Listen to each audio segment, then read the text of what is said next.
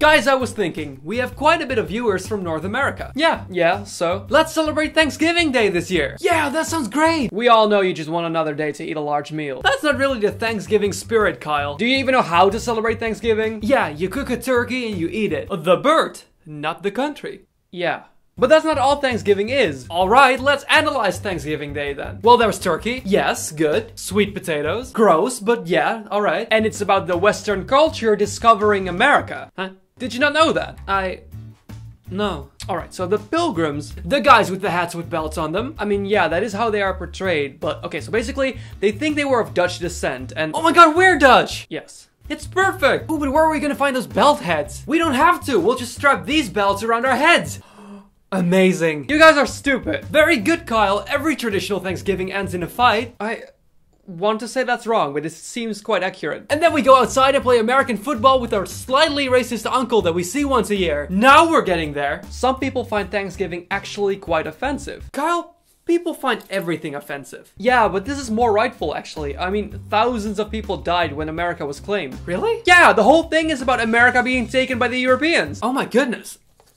I thought it was about eating! Of course not, they're glad they have the country. What else would the thanks part be? Well, like, thanks for the food, you know? Yeah. How do you know so little about this? Because we don't celebrate it here. Then why do you want to? Because of the food, Kyle! Because of the family meals! Right. Let's rename it to Food and Belts on Your Head Day. Yes! No offensive history, just food and fun. I mean, I am not opposed to eating food. Alright! I do feel like we should still say thanks for the things we are thankful for. You know what? I'll just put a list of my thankfulness on social media. People will just love that. Oh, and we shouldn't forget the nice way families talk to each other. Yes, exactly. Um, hey Kyle. Yes? How's school going, buddy? I'm currently not going to school. Do you already have a girlfriend?